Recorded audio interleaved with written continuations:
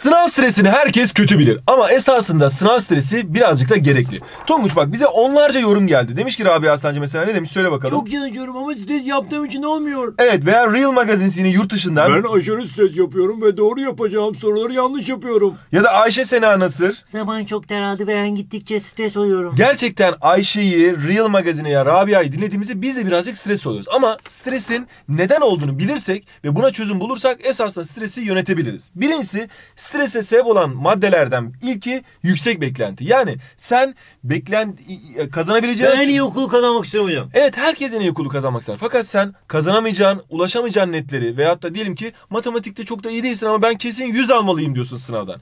Veyahut da işte çok yüksek bir okul istiyorsun ama o okul için yeterli netleri bir türlü yapamıyorsun. O zaman hedefini doğru belirlemelisin. Hepsini doğru yapacağım, hepsini mutlaka kazanmam lazım demek bazen yani yüksek beklentiye girmek insanlarda stres sebebi olabiliyor. İkincisi hurafeler. Hurafe ne demek biliyor musun Tonguç'um? Hurafe hocam e, böyle kurabiye gibi yiyebiliyoruz. Hayır oğlum kurafe başka hurafe başka. Hurafe batıl inanç yani yanlış inanç. Birçok öğrenci soruların zor olacağını, işte bu soruların artık e, Milliyetin Bakanlığı tarafından değil de e, işte NASA tarafından, TÜBİTAK tarafından hazırlanan düşünüp kendisini hep korkutan bilgileri hemen etrafa yayar. Böyle WhatsApp gruplarında, sosyal medyada bu sene sorular çok zor olacakmış. Gerçekten İşte, herkes çok zor veyahut da zor veriyor. soru yüksek puan getir gibi böyle yanlış bilgiler vardır. Bütün bunlara inanırsan ister istemez stresin de Bu sene artar. soruları TÜBİTAK hazırlayacakmış hocam. Hayır öyle bir şey yok. Soruları her sene Milliyetin Bakanlığı'nın uzman hocaları hazırlar ve soruları da geçen senekine veya gelecek senekine benzer zorlukta belli bir özgünlükte hazırlarlar. Sonuçta öğrenciler değişmediğine göre soruların da zorluğu değişmemesi lazım. Aile çevre etkisi önemli. Öğrencilere annesi çalış çalış çalış diyorsa bu stres yapar.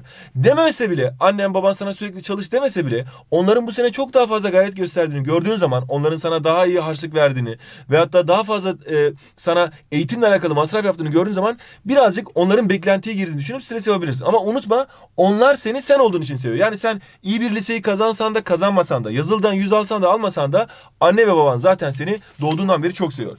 Bir de kendini sürekli birileriyle kıyaslamamalısın. Yani işte şu şöyle yapıyor, bu burayı istiyor, bu burayı kazanmış. Tabii ki bir rakibin olmalı. Diyelim ki sınıfta 10 kişisiniz. Hocam bizim sülalede herkes çok başarılı benim dışımda. Aynen sizin sülalenin yüz karası olabilirsin sen ama önemli değil. Burada sen kendine bir rakip vereceksin. Sınıfın çalışkanlarından birini geçmeye çalışacaksın ama onu geçsen de geçemesen de her zaman için o senin için bir rakip olacak. Ama herkese kendisini karşılaştırırsan işte Merve şöyle yaptı, Ayşe böyle yaptı, o Ahmet böyle yaptı diye kendini kıyaslarsan ister istemez sıkıntı yaşarsın. Şimdi Tonguç sınav stresi bir sınavdan önce vardır bir de sınav anında vardır. Sınavdan önceki stres mutlaka olmalı. Bu başarını artırır. Eğer hiç, Aa. evet hiç stresin Kötü yoksa bir şey değil mi stres? Hayır az bir stres gerekli. Niye? Hiç stres olmazsa başarısızlık gelir. Ve daha fazla çalışmanı sağlar ve iyi bir şeydir. Sınavdan önceki az biraz stres. Sınav anında fazlası olursa zararlı. Sınav anında da stres olabilirsin. Böyle yazılı esnasında veya Ellerim titriyor, ev, avuç ellerin terliyor. Evet avuçların terliyor. Bu da gerekli ama fazlası zararlı. Bu durumda eğer fazla olursa dikkat hatası yapabilirsin. Peki ne yapacaksın? Buna nasıl çözüm bulacağız? Birincisi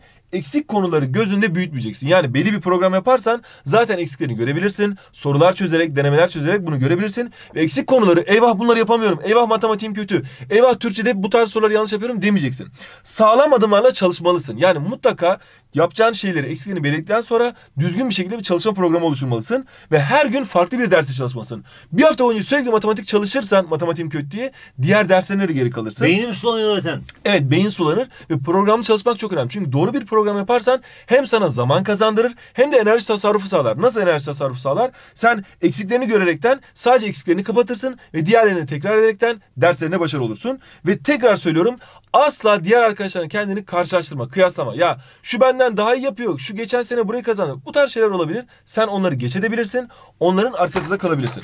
Unutma sınav zorsa herkes zor olacak Tonguç. Yani sınav... Hep bana zor çıkıyor hocam. Öyle değil oğlum. Herkes aynı şey. Mesela sınavdan çıktı bana kolay kitapçık geldi, bana zor kitapçık geldi bir şey olmaz. Herkes benzer kitapçıklarla, benzer sorularla sınav olur. Ve en önemlisi ailenin desteğini yanında hissetmelisin. Onlarla daha fazla zaman geçirip onların telkinlerini mutlaka göz önünde bulundurmalısın.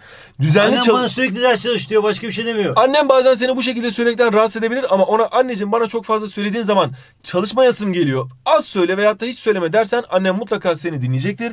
Düzenli çalışma ortamı da çok önemli. Düzensiz bir ortamda insanın çalışma isteği de kırılıyor ve olmazsa olmaz olan da tabii ki çalışma programı. Çalışma programına sıkı sıkıya takip edersen az önce söylediğim gibi hem zaman tasarrufu hem de enerji tasarrufu elde etmiş oluyorsun.